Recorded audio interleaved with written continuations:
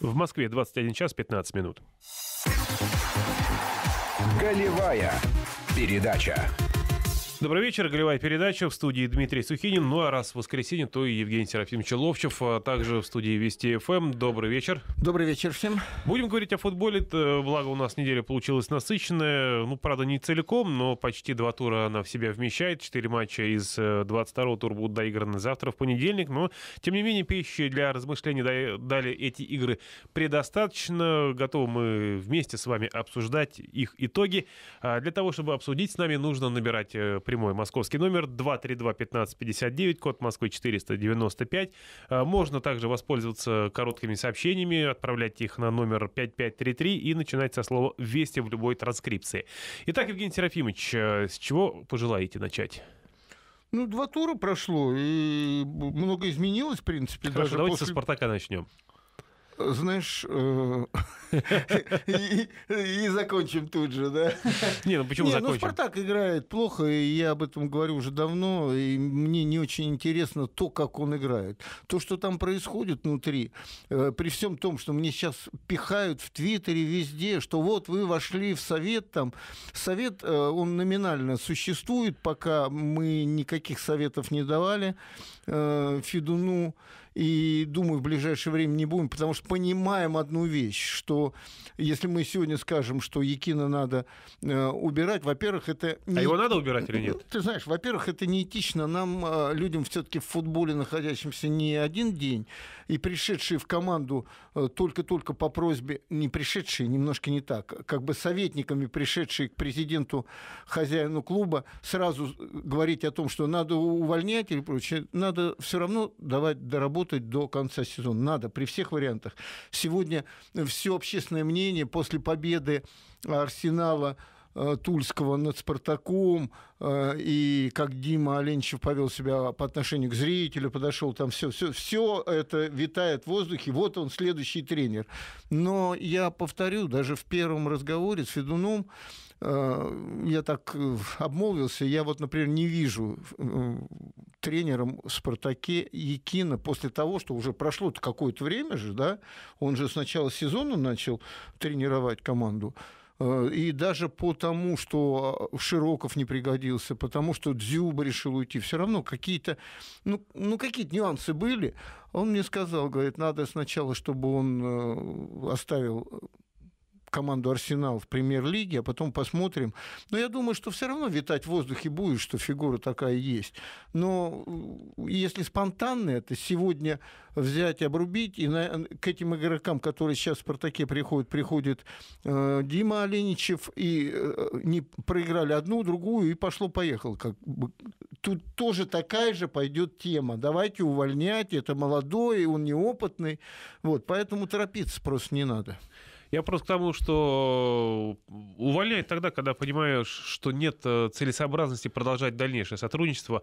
А конец сезона или не конец... Как раз конец сезона, это вот хорошо, если есть готовый кандидат, готовый занять место. Это вот как раз несколько матчей, дабы познакомиться с тем набором исполнителей, который наблюдается в команде, и чтобы понять, э, что с ними делать дальше. Ты это знаешь, вот вариант я, такой. Например, Дим, я пони... просто вот как раз к тому, нужно сейчас... Я Федуна понимаю сейчас. Вот сейчас именно понимаю. Я не понимаю его или вот вся эта машина, которая работает в футбольном клубе, она, видимо, не понимает, что такое «Спартак», как он играл, какие игроки здесь были, в какой футбол он играл, и как постепенно, постепенно это все происходило.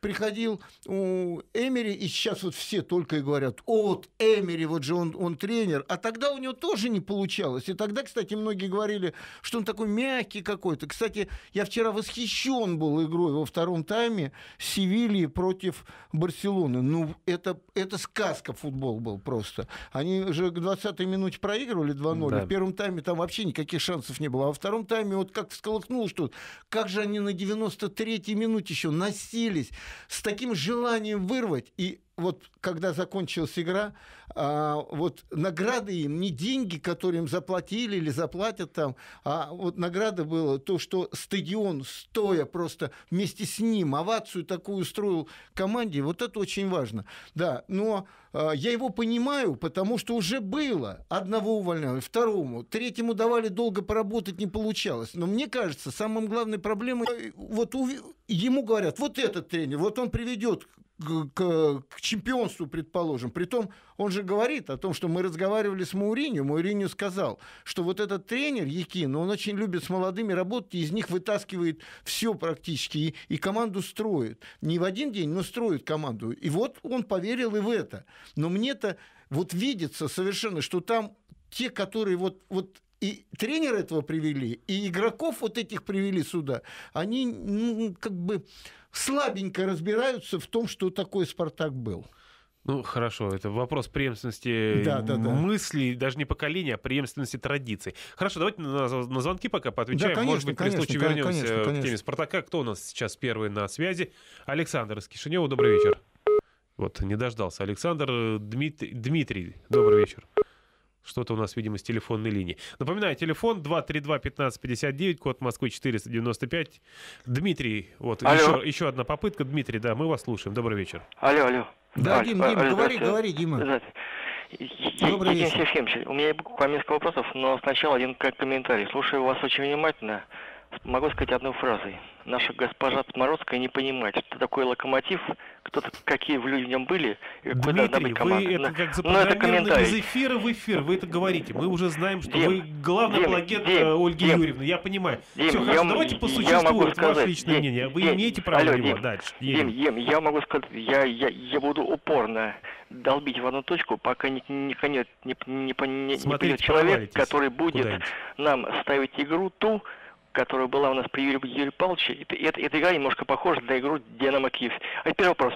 Евгений Алексеевич, характеризуйте игру моего лок- локомотива с торпедо раз, что, что там была за акция, которую устроила Смородская, это два. Говорят, была драка с фанатами торпеда, но не знаю, он, вот, ведь для нас торпеда то же самое, что для вас ЦСКА. Это вопрос, это значит, что сказал, как обычно, на после матча конференции Божевич, и, и, и по поводу завтрашнего матча, Дима, если можно, какие локомотивы, я имею в виду кадровые проблемы, кто в команде травмирован, и почему все-таки игра будет в Тюмени, потому что играть на, на этом, как говорят, имите асфальте, ну, тогда можно команду вообще угробить. Но такие вопросы, но, но равно по матчу с торпедой. И, как, как вы считаете вообще то, что вот сейчас показывает локомотив с торпедой, это вообще футболом можно назвать или, или вообще как это можно назвать? Но если это не будем называть футболом, то тогда у нас ни, никто не играет в футбол.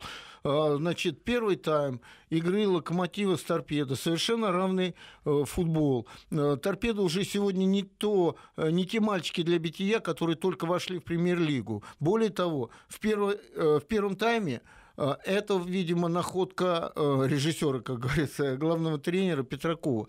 Команда начала держать мяч, и Локомотив не знал, что делать. У Локомотива не было быстрых атак, не было практически ничего не было. Они держат мяч, те отошли на свою половину поля, ждут, когда они перейдут, когда торпедовцы перейдут, а те не переходят.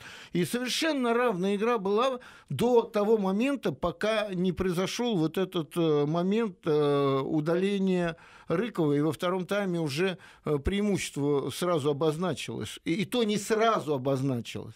Ну вот. Э, я вот когда смотрел эту игру, сразу увидел, вот так, как по телевизору показали, я увидел, что Рыкова надо удалять. Вы знаете, что э, эту карточку уже отменили, рассмотрели. Да. Мне показалось, опять, вот вы понимаете, вот мы смотрим и э, нам кажется, иногда просматриваем 3-4 раза и видим, вот здесь вне игры, а вот здесь не вне игры.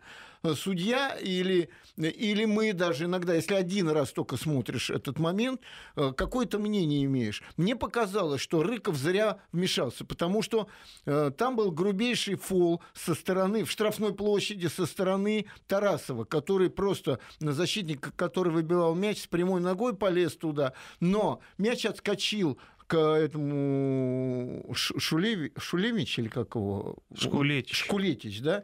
И тот забил гол. Судья отменил гол и, дал, и, и уже полез давать карточку. И вот здесь Рыков вмешался в это дело. Мне показалось, что Рыков просто взял и положил на, на землю э, Тарасова. А вот э, КДК показалось по-другому совершенно, что его никто не клал. Ну, короче говоря, отменили эту карточку. Но во втором тайме уже 10 десятером. Это психология некая, да? Потихонечку-потихонечку и здесь забил гол, притом на добивании забил гол Фернандеш, он у них сейчас главный бомбардир, он 7 мячей, по-моему, забил. Ну, и потом да, он очень пенальти результативно реализовал. играет. Ну что тут сказать? А, торпедовская сторона высказала и высказался Петраков о том, что судья испортил игру, но это частая история, когда так говорят. А в то же время э, сказал какие-то хорошие слова э, в адрес своей команды, что во втором тайме изменили игру, хотя они дес- против десятерых играли.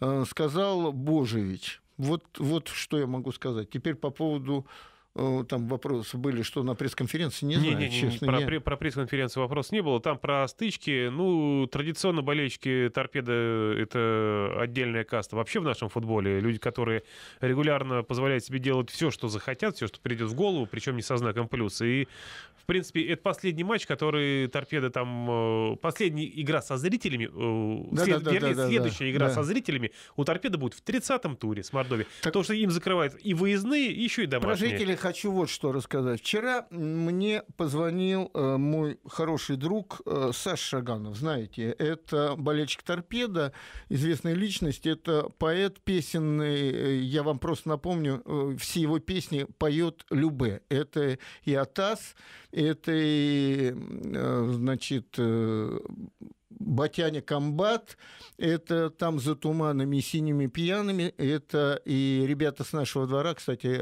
любимая песня Путина. Э, Он приходил на концерт где-то в Сочи, когда Любе там выступала. Я с ним дружу, и он мне говорит, я тот человек, который хочу их как-то соединить, клуб и э, болельщиков. Дальше он мне рассказывает о том, что я договорился, это вчера было, что вот в день именно Пасхи, вот в такой святой, с- светлый день, э, я хочу вот их объединить. И руководство торпеда, я уже договорился с Тукмановым, придет, договорился с каким-то рестораном на, Новом, на Старом Арбате, э, придут и придут болельщики. Потом, говорит он мне, э, мне звонят из пресс-службы торпеда и спрашивают пофамильно, а кто придет? Понимаете, это уже, а, а, ты заулыбался уже, да. Потом я, говорит, начинаю набирать, Саша говорит, э, руководство торпеда, там пи-пи-пи, короче, недоступен никто. Тем звонит болельщикам, тоже недоступны. Люди не хотят идти навстречу, не хотят разговаривать, и поэтому там все время, видимо, будет вот эта вот война, э, хотя все умные люди, все мудрые люди когда-то садятся за стол переговоров и находят какой-то общий язык. А Вот, мне и- такое ощущение, что э, вот те люди, которые сейчас э, ходят э, с наколками торпеда, там, с атрибутикой торпеда, они вообще ничего не Они- хотят, они никаких не переговоров. болели- Да, они не А болельщики. Они не болельщики, они просто используют э, ну, Ну, как, под, маркой, для хулиганья. под маркой болельщиков, да, они вот Да. используют стадион, где можно это. Знаешь, а насчет договориться и прочее. В эту неделю два тура же прошло, и в предыдущем туре э, Краснодар играл в Казани. И помните, в конце матча была, ну, вот тот инцидент, когда Аздоев... э, С Широковым. да, с Широком. Вот, вот как я увидел по телевизору, я сразу же в Твиттере написал о том, что э, Широков намеренно локтем ударил Аздоева. Отмахнулся. Да, отмахнулся. Вот. После чего не из-за этого. Они сами просмотрели, они подали на дисквалификацию, чтобы его дисквалифицировали на 6 игр и прочее. Вчера мне приходит смс от Широкого. Евгений Серафимович, не думал, что и вас зомбируют тоже. Вот. И я ни- ничего такого не делал, короче говоря. Я набираю его, он отвечает мне. И он мне говорит, вот поверьте мне, ну я же не дурак, за пять минут до конца первого второго тайма. у нас я вообще договорю. три секунды. Новости, а потом да расскажете. Голевая передача. Наш телефон 232-1559, код Москвы 495. Принимаем ваши звонки. Разговор о футболе, а Евгений Серафимович Закончу. заканчивает э, историю Закончу, с да. Широковым. Да, и я звоню ему, он мне говорит, Евгений Серафимович, ну, я ему, да, я ему первый говорю, ну, ты уже меня и зомбированным считаешь. Он говорит, да нет, конечно. Но он мне говорит, да нет, однозначно. И я верю ему, понимаете, в чем дело? Ну, это не из-за того, что КДК приняло решение не, не давать ему там дисквалификацию и прочее. Просто я смотрю своими глазами, я увидел, но это не значит, что я прав. Точно так же, как и в истории с Рыковым. я тоже посчитал, что Рыков там виноват. Поэтому ничего страшного в том, чтобы извиниться. Я извиняюсь перед ним в данном случае за то, что написал, что он намеренно это сделал. Он говорит, ну поймите правильно. Во-первых, я никогда не замечен был, чтобы кого-то там шел намеренно там бить, убивать где-нибудь. Не, не помню такого момента. И во-вторых, говорит, пять минут до конца второго тайма, хоть и счет 1-1, ну, я получу удаление за это, если отмашку сделаю. Совершенно нет. И более того, он говорит, что Аздоев-то зла в данном случае не, не держал, что я специально это сделал. Ну, вот так бывает. Поехали. Бывает так. 232-1559, э, э, это наш телефон. Алексей дозвонился. Добрый вечер. Здравствуйте. Здравствуйте. У меня два вопроса. Первый по матчу Рубин-Зенит. Во втором тайме после удаления Кришета Рубин завладел инициативой и стал э, атаковать э, большую часть времени матча. И в связи с этим образовались огромные зоны в обороне, через которых стал э, «Зенит» э, э, э, прорываться в контратаке. В связи с этим у меня вопрос. С чем это было вызвано? И второй у меня вопрос – стала снижаться посещаемость в премьер-лиге. Какой фактор на это влияет больше? То, что стадионы комфортные, то, что их расположение не очень удобно, как арена Химки, то, что поля некачественные, или сам футбол мало качества, и поэтому люди не ходят на него. Ну, если бы вам, мы вам сейчас э, вдвоем ответили бы на второй вопрос, что именно, вот в, в стадионы, поля или... Да все там. Э, да, если бы мы ответили вам сейчас точно, понимаете, мы бы сейчас уже не здесь были бы, а в Швеции, в Стокгольме получали бы Нобелевскую премию, что мы ну, знаем ну, за так что? хорошо. Да за это, что ответили точно человеку одно, и вот прям именно то, что нужно. Теперь, что там первый-то вопрос какой? Первый... долго задают вопрос, что я забываю. Там просто длинное рассуждение на тему тему э, матча Рубина и Зенита. А, но... что, да, я вам объясню. Очень просто. Когда одна команда владеет э, э, преимуществом в человеческом факторе на одного человека, да, она э, переходит на чужую половину. Они не стараются быстро там контратаку провести какую-то, а держание мяча идет. И все выходят туда, на чужую половину поля. И вот когда «Зенит» перехватывал мяч, у него целое пространство половины поля было. И тогда, вы помните, даже одна контратака была, четверо бежали. 4-2 Да, 4 на 2. И таких несколько было. Еще там 3-2 был один момент. Просто не точно отдавали последний пас. Или как э, вот когда 4-2 выскочили, Дани не забил просто гол, выйдя 1 на 1. Это просто преимущество за счет вот именно количественного. Одни отходят и в 10 человек больше стараются защищаться, а вторые больше атаковать. И в этом случае, когда перехват мяча какой-то идет, то, естественно, там разряженное пространство, только всего. Да. Валерий дозвонился, 232-1559, код Москвы 495. Добрый вечер. Добрый вечер. Добрый. Ну, вопрос вам обоим. Вот. Э, просто интересно мнение и Евгения Серафимовича, и Дмитрия хотя я понимаю, что вы разные люди и разные профессии у вас, но все-таки ну, Евгений Серафимович скорее... Как Сиамские близнецы. Да, Евгений Серафимович скорее как профессионала, как большого защитника левого. Вот. И, э, значит, Динамо Москва. Мне, честно говоря, уже последние годы, это уже, я, я уже не знаю, куда деться. Команда обязательно получает гол в свои ворота. Я уже вывел схему, по которой Динамо надо, надо забивать три гола, э, чтобы точно выиграть, три гола забивать. Два не обязательно выиграет команда. Но обязательно от Уфы, получ, э, от Уфы получили гол. От Мордовии получили гол. В чемпионате ни одного матча не было, где бы не получили. Два матча Сухаря, это был с Андерлектом на выезде из Наполя в этом году. Но эта тема длится вообще. И при Хобеле началось, и при Силкине это всегда было. Чем вы объясняете? То ли это желание идти в атаку немножко оголяется, то ли это неповоротливый центральный. Ведь ну, Игнали Фернандес с гранатом вроде там, то же самая картина. Постоянно получают гол свои ворота. Потом мне вот интересно ваш как профессионал, Евгений Серафимович, и Дмитрий, может быть... Понятно, вопрос понятен. Все, этот вопрос, да? Да, да, спасибо. Ну, на мой взгляд, тут очень просто. Вот именно сегодняшний, я не буду брать предыдущие э, какие-то и тренерские Э, да, кстати, если брать Силкин, там тоже атакующая команда была. Здесь э, акцент, ну так, 50 на 50 сделан на самом деле. Не, не 80 в защите, 20 в атаку, а 50 на 50. И это, естественно, позволяет э, атаковать команде любой, в том числе и Мордовии, в том числе и Уфе, кому хочешь. Вот. Забивают, не забивают, это уже другой вопрос.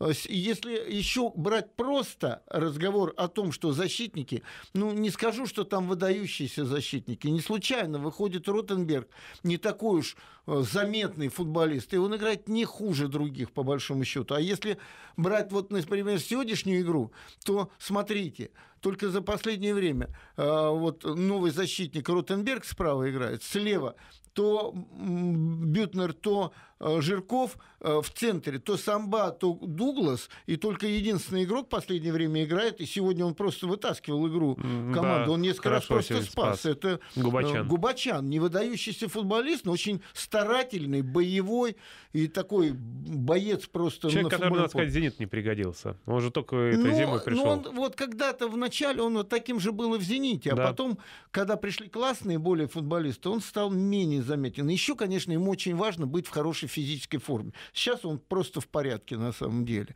Вот. Не выдающийся защита на самом деле. Вот поэтому я, это мое мнение.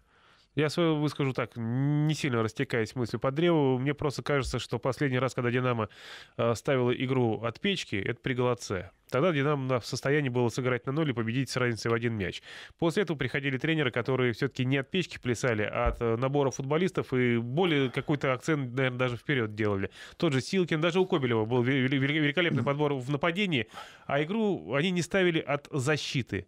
Не да от этого. И, и Романцев а когда нет, в свое время, и Семин, который да. приходил, они тоже не ставят тоже не от ставят. обороны. Да. Вот, а когда нет у тебя, что называется, наигранной обороны, у тебя всегда происходит какой-то нервяк в игре, а когда соперник начинает поддавливать, вот как Мордовия в конце, да, чем ближе развязка, и тем и чем более настойчив соперник, тем больше ты нервничаешь, да, и тем больше ты допускаешь ошибок. Да даже в конце, вроде бы, ну, отойдите назад, человек в 8 сыграйте в обороне, да, они же бегут вперед туда. Они не, не обученные восьмером да. обороняться, у да. них про, их просто не учат. И э, не только этому. это, да, но они бегут вперед, еще забивать голы, хотя уже не надо вроде забивать играть, по результату играйте. Давайте еще один звоночек примем. Э, добрый вечер, Евгений. Алло, здравствуйте, Евгений, Санкт-Петербург, ваш, да, пок... ваш давний поклонник и слушатель. Значит, у меня вопроса два таких будет. Вот мы все время э, сетуем, что у нас поля плохие, что у нас мало ходит. Вот смотрите, в континентальной хоккейной лиге есть такое правило, что если определенный дворец спорта на определенное количество с определенным качеством, как бы льда, там, ну, там много параметров, у тебя не будет, то ты в КХЛ играть просто не имеешь права. Почему вот э, у нас вот, вот а, а хоккейные клубы, они ну, футбольные побогаче будут, чем хоккейные, но все-таки в большинстве своем. Почему бы не ввести у нас вот в премьер, в, э, такой вот критерий для премьер-лиги? И вопрос второй – вот э, на хоккей мы ходим все, вот у нас СКА сейчас вышел в финал, как бы все ходим очень, как бы, ну, приятно прийти вот в наш Ледовый дворец Санкт-Петербурга, поболеть, и ты там ничего в свой адрес не услышишь, как бы все нормально. Вот почему континентальная хоккейная лига как-то решила этот вопрос? А вот мы про болельщиков говорим, на футбол приходишь и драка, и вот извините, на футбол, на Петровский. Я бы вот никогда не пошел вот сейчас, потому что вот слушать с одной стороны, кто я, а с другой там еще кто-то какими-то словами там кого-то обзывает. Честно, мне не очень интересно. Вот не стоило ли бы посоветоваться с КХЛ, как они этого добились? Вот такие вопросы. Хороший, конечно, на самом деле вопрос, Евгений Серафимович. Ну, я просто, знаете, я вам просто скажу, вот в футболе э, существует еще немного вот это вот э, желание, ну давайте сделаем уступку. Вот эта вот уступка э, с этим, э, когда пошли на принцип, взвыл Арсенал и тоже пошел на принцип, ну, не на тот, а Оленчев взял и выставил второй состав. А Спартак не пошел на принцип, э, хотя на самом деле мог поставить вопрос пожестче, и комиссия РФС могла бы запретить проводить матч после игры с торпедо. Там снегопад серьезно подмочил газон, и со Спартаком игра могла бы и состояться где-нибудь на резервном газоне. Но, однако Спартак не пошел на принципы. Вот тут вот не соблюли закон закон. Хотя он, да, если будем жестко соблюдать все законы, тогда и будет как в КХЛ. Знаете, а у нас пока в, ПФ, в, в лиге, вот в РФПЛ, вот какие-то все реверансы налево, направо. Лед в любом дворце будет одинаковый. Нет, Его нет, просто заливают. Нет, Евгений Серафимович. Его заливают. Вот, знаете... и, и от того, какой лед не переносит игры на другой, э, все равно играют на этом льду. Это первое. Второе. Я ходил в Спартакский дворец довольно-таки долго. А, видимо, не будет Спартак, который возродят, уже практически решенный вопрос, а, играть в Спартаковском дворце. Он будет играть или где вот строится... Или построен, легенд. Да, в арене легенд. Э, или, ну, во всяком случае, не будет там играть. Теперь следующее. Вот э, построили хороший э, стадион в Казани. И на первых играх там битком народу, и это подняло еще и команду. И она стала играть ярко туда-сюда.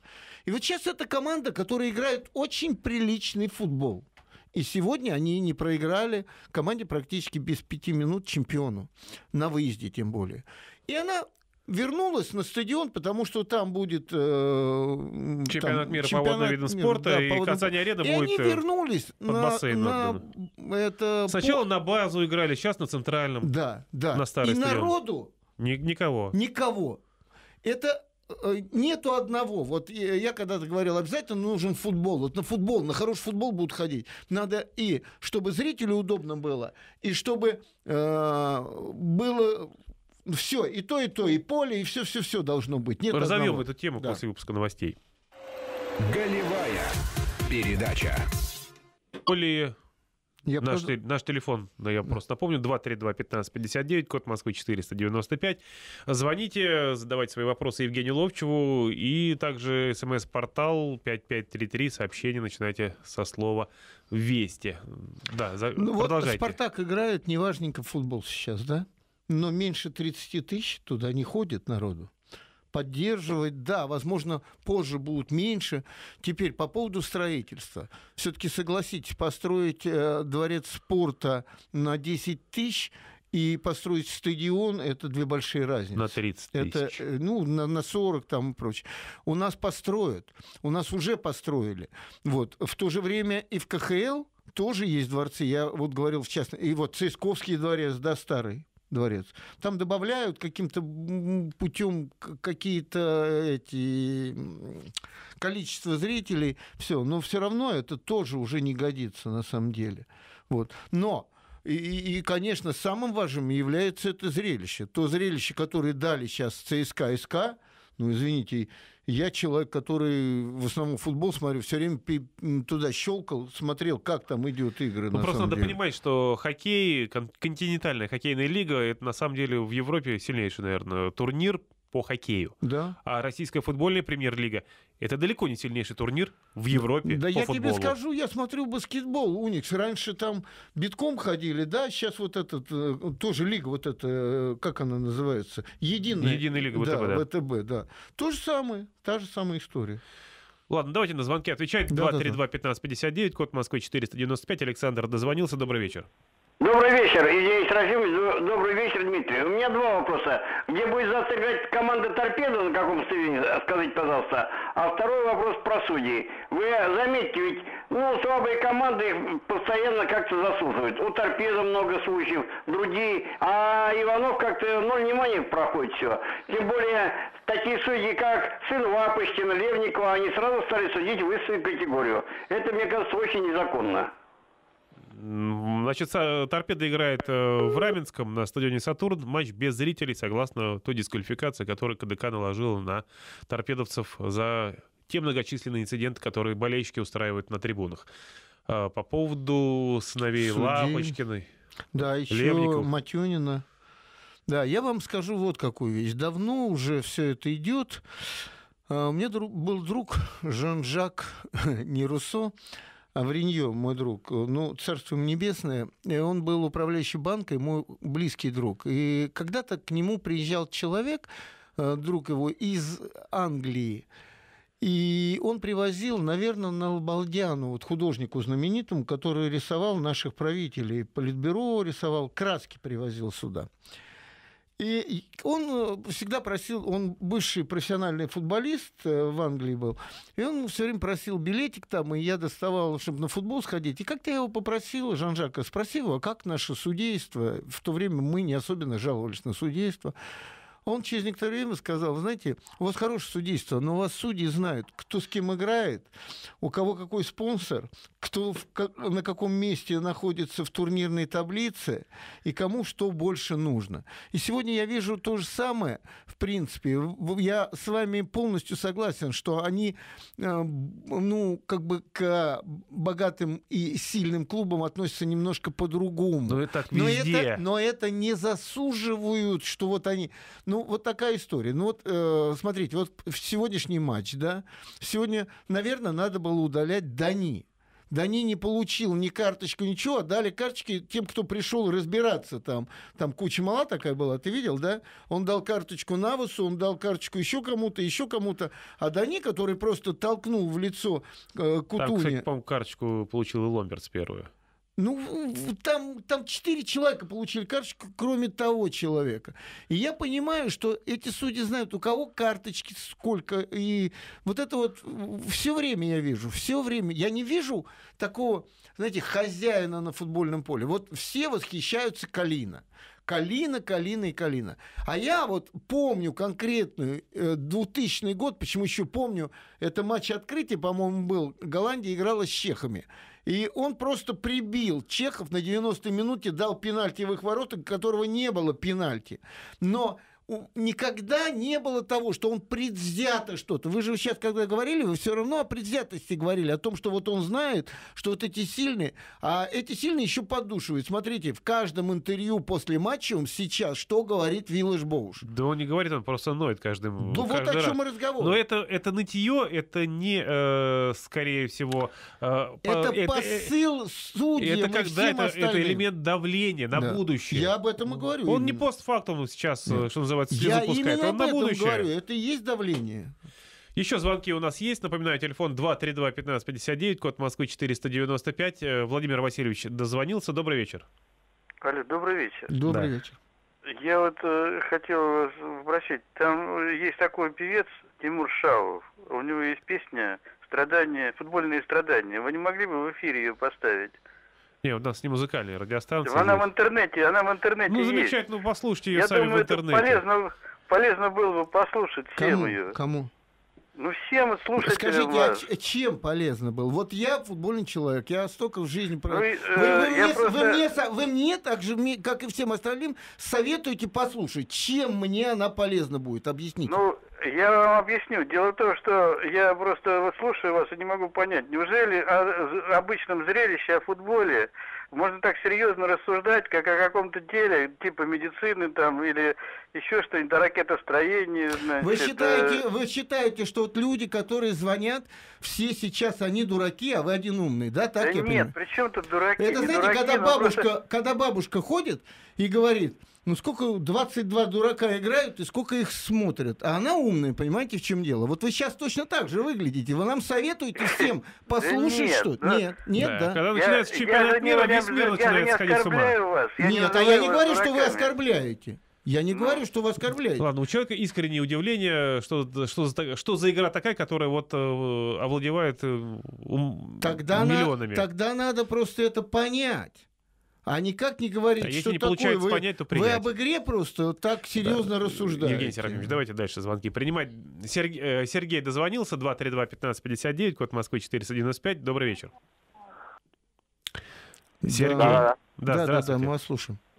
Здравствуйте. У меня один вопрос. Вот, э... О футболе ни слова. Давайте про песню этого. Ну, ладно, Евгений Серафимович, хватит шутить. Мы слушаем вас, Сергей. Не обращайте. Здравствуйте еще раз, Евгений Серафимович. Да, да, да. Добрый вечер. У меня вопрос вот такого плана. Передо мной звонил слушатель, который вот сравнивал РСПЛ с КХЛ. С кем, с кем? С КХЛ. А, с КХЛ, да. Континентальной хоккейной лиги. Да. Вот. А, у меня есть такой вопрос. А почему бы нам лигу не закрыть, принимать туда только по определенным критериям, в том числе и финансовым.